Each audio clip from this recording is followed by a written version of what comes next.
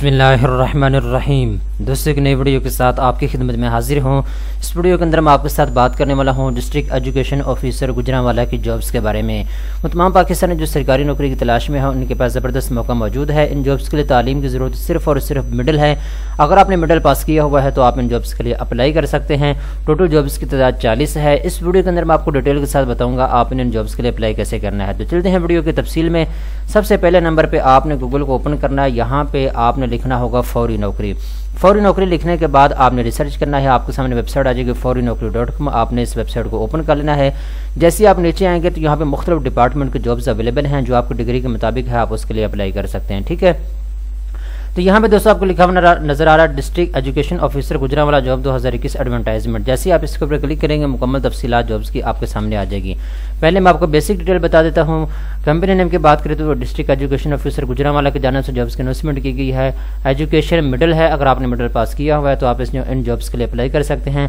Job location گجرا والا سیال کوٹ ہے۔ اس کے بعد جو اپلائی کرنے کی آخری تاریخ ہے، گیارہ اکتوبر دو ہزار اکیس ہے۔ یہ پرماننٹ جاب ہیں، چالیس جابس کی تعداد ہے، ٹھیک ہے؟ ایڈورٹائزمنٹ کا اشتہار آپ اپنے اسکرین کے اوپر دیکھ سکتے ہیں۔ یہ سب سے پہلے نمبر پہ جو جابس اویلیبل ہیں، یہ ہے ضلع گجرا والا کے لیے، ٹھیک ہے؟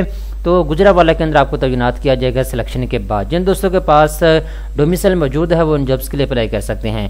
سب سے پہلے نمبر پہ جو آسامی اویلیبل ہے، اس کا نام ہے آیا۔ آیا کی تین جاب اویلیبل ہیں۔ مڈل پاس ہونا ضروری ہے اس جاب کے لیے۔ اٹھارہ سے پچیس سال کے درمیان آپ کی ہونی چاہیے۔ اس کے بعد چوکی دار کی دس اسامیاں خالی ہیں، اگر آپ ان جابس کے لیے اپلائی کرنا چاہتے ہیں، تو مڈل پاس ہونا ضروری ہے اس جاب کے لیے۔ اس کے بعد نیب کاسد کی آٹھ اسامیاں خالی ہیں، اگر آپ اس میں اپلائی کرنا چاہتے ہیں، تو مڈل پاس ہونا ضروری ہے اس جاب کے لیے۔ بھی اٹھارہ سے پچیس سال کے درمیان آپ کی ایج ہونی چاہیے۔ اس کے بعد دوستوں مالی کی جاب اویلیبل ہے، چار اسامیاں اس کی خالی ہیں۔ مڈل پاس کو ترجیح دی جائے گی۔ اس کے بعد اٹینڈنٹ کی ایک جاب اویلیبل ہے ترجیح مڈل پاس ہونا ضروری ہے، ٹھیک ہے؟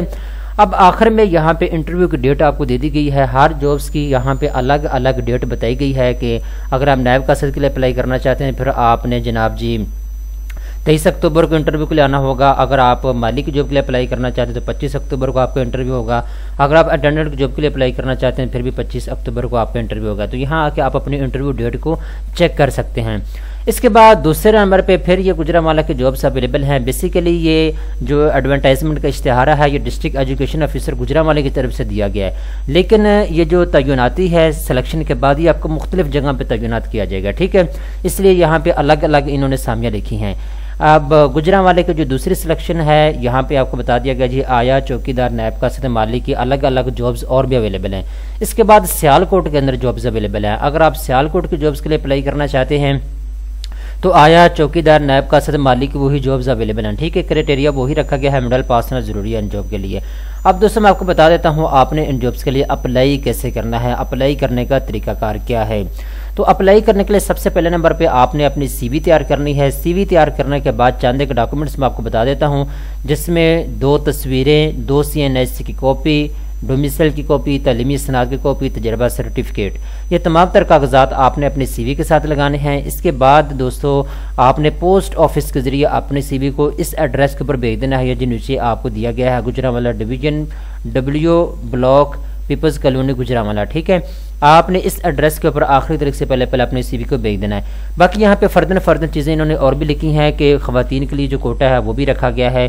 سرکاری ملازمین کے بچوں کے لیے بھی کوٹا رکھا گیا ہے۔ خواتین کے لیے اور مردوں کے لیے کتنا کوٹا رکھا گیا اس کی تفصیلات یہاں پہ انہوں نے تفصیل کے ساتھ لکھ دی ہے۔ تو تمام لوگ ان جابس کے لیے اپلائی کر سکتے ہیں، کسی بھی آدمی کو کوئی ٹی ڈی اے نہیں دیا جائے گا، ٹھیک ہے؟ دوستوں امید کرتا ہوں یہ ویڈیو آپ کو پسند آئی ہوگی۔ اس طرح کی مزید اچھی اچھی ویڈیو دیکھنے کے لیے چینل کو سبسکرائب کر لیں۔